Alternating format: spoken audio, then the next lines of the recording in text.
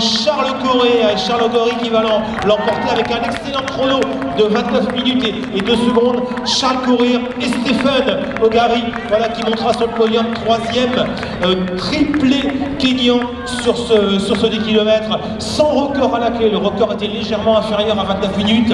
Ça a été un peu